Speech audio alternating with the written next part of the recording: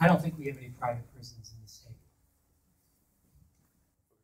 Yeah, I, I do have one uh, question. Uh, I would come at this from the approach of the Stanford prison experiments or the Milgram obedience to authority experiments or the Nuremberg trials, but I'll start with uh, instead of going from the moral side of things, I'd like to go to the legal side of things, which which put these people in prison. In prison, and as a th- there are certain legal standards that have to be met for a case to be adjudicated in court. Uh, justicability. There also has to be standing to complain, corpus delicti, a valid cause of action.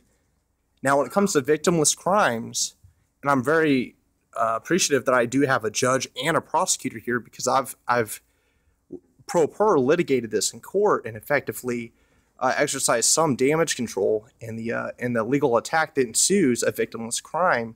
But a lot of a lot of these legal standards are not met in court, uh, such as standing, which requires actual damage or the violation of legal right, uh, similar to a valid cause of action or uh, uh, corpus delicti, which comprises of loss, injury, or harm. Uh, absent these legal uh, standards, uh, you know, how can we explain so many people in prison? Uh, you know, th- th- these guys are being held in there for not hurting anybody yet. Uh, these legal standards seem to fail to protect them, uh, which is quite ironic because we also freed other nations based on this on this moral standard that it's not okay to to just criminalize. Sure, sure. So I just like the panels. Sure. Was that a yes or no?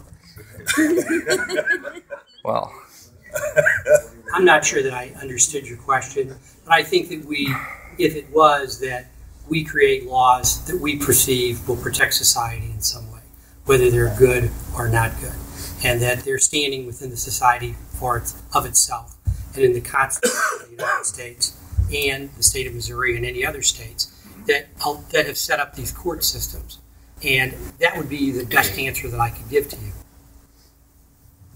What did you have anything to add? I do. It's going to be another one of these things where I go on a sidetrack, though. So he's talking about this being a victimless crime, um, and I'd like to talk about the police aspect of that for a moment because it's a lot harder to arrest somebody for a victimless crime because you also have to find the crime. So I would like to just have you think about how a police officer who's solving a, a normal crime like a burglary or rape or murder, he already has the crime, right? So think about how his work is doubled when he has to go out and find the crime because nobody's going to report a drug transaction. Um, so just just so you know, They do. we are eroding a little bit of our. I mean, they do from the window, but but mostly there there's a lot of extra police work that goes into finding these crimes, and it's a lot of extra time that they could be spending building community relations, being out there solving violent crimes. So I, I would like to raise that.